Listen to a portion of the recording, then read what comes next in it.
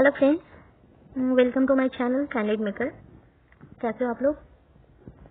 जैसा कि मैंने पिछले दोनों वीडियो में बताया है कि एसएससी सीएचएसएल में इंग्लिश के पेपर में जो क्वेश्चंस पूछे जा रहे हैं, वो मोस्टली प्रीवियस ईयर के हैं।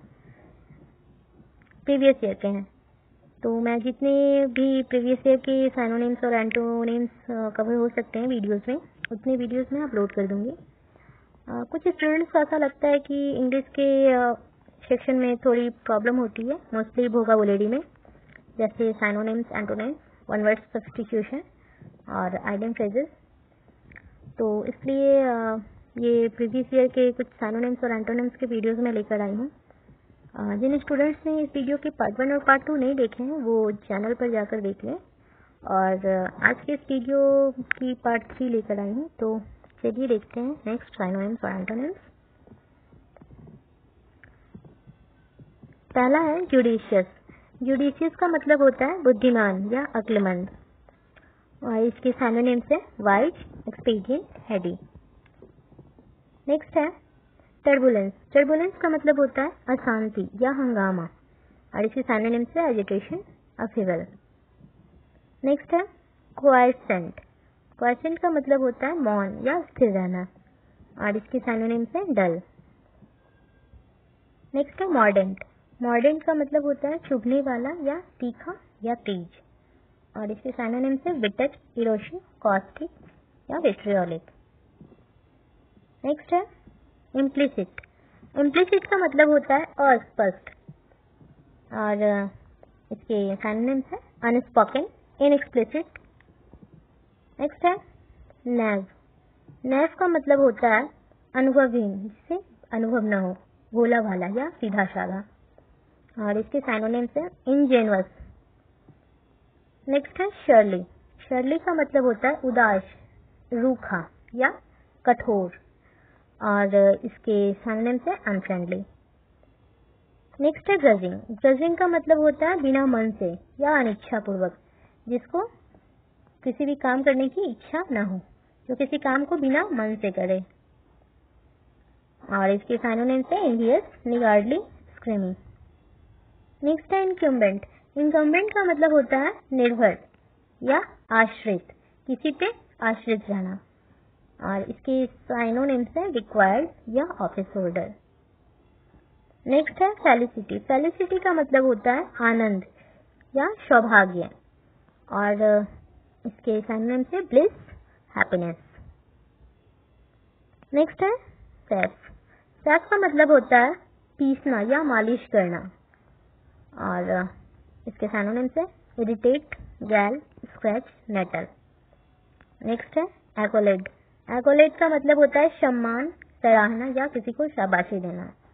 इसके साइनोनिम्स है लॉरल एक्नोलेजमेंट ऑनर नेक्स्ट है इन्वेक्टिव इन्वेक्टिव का मतलब होता है फटकारना या किसी को गाली देना। इसके साइनोनिम से अब्यूजिव विट्रियल विट्यूप्रेशन नेक्स्ट है ऑस्टेरिटी ऑस्टेरिटी का मतलब होता है तपस्या। इसके साइनोनिम से स्ट्रिक्ट एस्थेटिसिज्म राइवर नेक्स्ट है एम्पेरिकल एम्पेरिकल का मतलब होता है प्रयोग या अनुभव पर आधारित। और इसके सैनोनिम्स है प्रैक्टिकल नेक्स्ट है हाइब्रिड हाइब्रिड का मतलब होता है मिश्रण. और इसके सैनोनिम्स है कंपोजिट लोनलेंड इंटरब्रेड नेक्स्ट है डिस्क्रीट डिस्क्रीट का मतलब होता है बुद्धिमान या नम्र. इसके सैनोनिम्स है केयरफुल डिशर्निंग सरकमस्पेक्ट नेक्स्ट है सबस्यूम सबस्यूम का मतलब होता है किसी भी नियम के अंतर्गत काम करना या किसी रूल को फॉलो करके किसी काम को करना। और इसके सैनोनिम से इनकॉर्पोरेट कॉलीगेट नेक्स्ट है डिल्यूड डिल्यूड का मतलब होता है भुलाना या भ्रम में डालना, किसी को कंफ्यूज करना। और इसके सैनोनिम्स है हुडविंक कॉजन डिसीव नेक्स्ट है स्कैरसिटी स्कैरसिटी का मतलब होता है कमी या अभाव। और इसके साइनोनिम्स है डर्थ तो स्टूडेंट्स यहाँ पे कुछ सैनोनिम्स बताए हैं। तो चलिए नेक्स्ट एंटोनिम्स पे आते हैं। पहला है कॉन्सेंसस कॉन्सेंसस का मतलब होता है आम सहमति। और इसके एंटोनिम्स हैं डिस्कॉर्ड डिस्कॉर्ड का मतलब होता है विरोध करना या फूट डालना या अनवन नेक्स्ट है मोल्ड मोल्ड का मतलब होता है शरना सड़ी हुई चीज़। और इसके एंटोनिम्स है जेन्युइन जेन्युइन का मतलब होता है असली या वास्तविक. नेक्स्ट है डिसोल्यूट का मतलब होता है स्थिर या दृढ़. और इसके एंटोनिम्स है एग्रीएबल एग्रीएबल का मतलब होता है अनुकूल. नेक्स्ट है निफेरियस निफेरियस का मतलब होता है बेईमान, कुटील. और इसके एंटोनिम्स है प्लीजिंग प्लीजिंग का मतलब होता है आकर्षक या मधुर. नेक्स्ट है इल्यूशिव इल्यूशिव का मतलब होता है भ्रामक, मिथ्या या मायावी। इसके एंटोनिम्स है फैक्चुअल फैक्चुअल का मतलब होता है वास्तविक या सच्चा। नेक्स्ट है डिम्यूर डिम्यूर का मतलब होता है संकोची या शर्मिला। और इसके एंटोनिम्स है स्ट्रॉन्ग स्ट्रॉन्ग का मतलब होता है मज़बूत, तेज या प्रबल।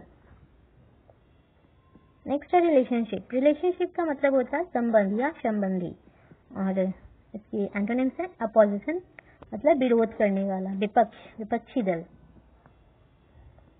लोथ लोथ का मतलब होता है प्यार करना सॉरी घृणा करना। और इसके एंटोनिम्स है लाइक लाइक का मतलब पसंद करना।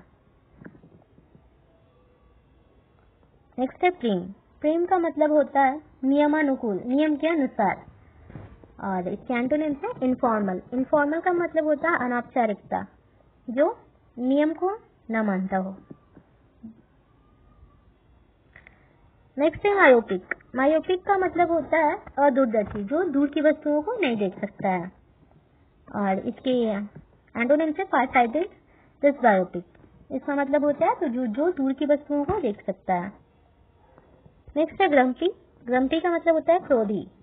और इसके एंटोनिम्स है प्लीजेंट है मधुर। नेक्स्ट है कैलेस्टियल कैलेस्टियल का मतलब होता है खगोलीय, आकाशीय या आसमान का। और इसके एंटोनिम्स है हेलिस इसका मतलब होता है यमलोकी या नरकीय। नेक्स्ट है इनिप्ट इनिप्ट का मतलब होता है अयोग्य या मूर्ख। और इसके एंटोनिम्स है स्किलफुल स्किलफुल का मतलब होता है निपुण या कुशल। नेक्स्ट है मीक मीक का मतलब होता है नम्र या कोमल। और इसके एंटोनिम्स है असर्टिव असर्टिव का मतलब क्या है दबंग या कठोर।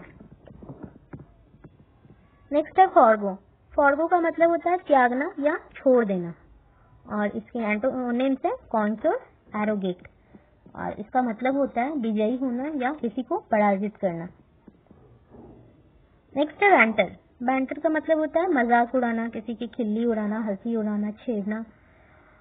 और इसके एंटोनिम से प्रेज इसका मतलब होता है किसी की तारीफ़ करना, प्रशंसा करना। नेक्स्ट है इलेटेड इलेटेड का मतलब होता है गर्व करना, उत्साहित, उत्तेजित करना। और इसके एंटोनिम से डिसहर्टेंट या डिजेक्टेड इसका मतलब होता है निरुत्साहित, जिसके अंदर उत्साह ना हो। नेक्स्ट है गायल गायल का मतलब होता है छल या धोखा कपट और इसके एंटोनिम से ऑनेस्टी मतलब ईमानदारी। नेक्स्ट ऑब्जेक्टिव ऑब्जेक्टिव का मतलब होता है लक्ष्य या विषय या उद्देश्य। और इसके एंटोनिम से प्रिज्यूडिस्ट प्रिज्यूडिस्ट का मतलब होता है पक्षपात। नेक्स्ट है हीड हीड का मतलब होता है सावधान रहना, ध्यान देना या देखभाल देखभाल करना। और इसके एंटोनिम्स है नेग्लेक्ट या अन इन अटेंटिवनेस और इसका मतलब होता है लापरवाही या ध्यान न देना. तो यहाँ पे आ, ये थे कुछ और फाइनोनिम्स और एंटोनिम्स प्रीवियस ईयर के. और इस वीडियो के next session part four upload कर दिया जाएगा. और अगर आप लोग चैनल पर नए हैं तो चैनल को सब्सक्राइब कर लें ताकि इस चैनल पर आने वाले वीडियो की नोटिफिकेशन आपको मिल जाए. और अगर आपको किसी और किसी और सेक्शन की वीडियो चाहिए, किसी और टॉपिक की वीडियो चाहिए तो आप लोग कमेंट में हमें लिख कर बताएँ। और अगर आपको वीडियो अच्छी लगी हो तो लाइक करें और कमेंट करके बताएँ। हमें ये वीडियो कैसा लगा? Thank you